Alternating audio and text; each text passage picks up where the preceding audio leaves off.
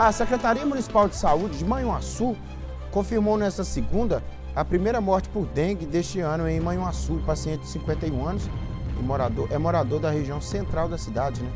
Olha só, a dengue, dengue, morreu três dias depois de dar entrada no Hospital César Leite em 11 de abril. Ele sofria de problemas cardíacos e estava fazendo uso de medicação específica. A FUNED, Fundação Ezequiel Dias, na capital mineira, realizou exames para confirmar a causa da morte descartando inicialmente a suspeita de dengue hemorrágica.